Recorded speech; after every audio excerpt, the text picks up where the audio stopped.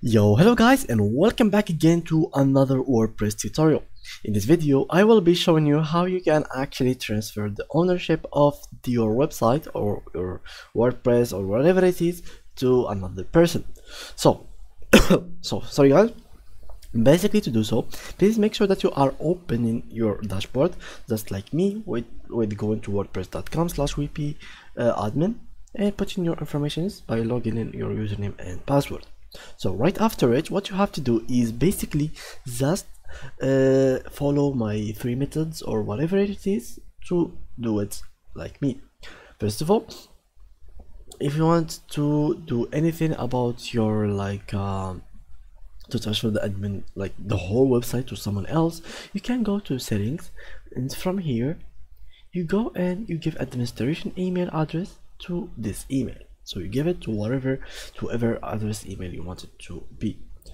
The other method which is creating a new user or giving a new username which is administrator like creating a, a new make user name password etc and make it a administrator.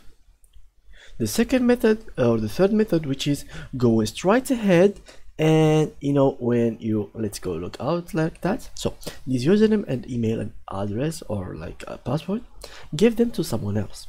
And then let him change, the, change them later for his own like uh, he, he can change, the, change it later. So for example for me i'm having here user one two three. I would give it to someone else if i wanted to transfer my uh, ownership to to him uh, the last method which is given the cpanel to that person to whoever it is. So the cpanel is where your um, your uh, domain or your website data is located.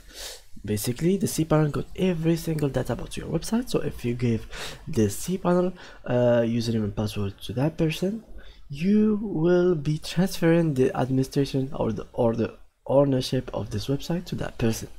So yeah guys that's how you can actually transfer the ownership to someone else. So thank you guys for watching. See you next tutorial. Bye bye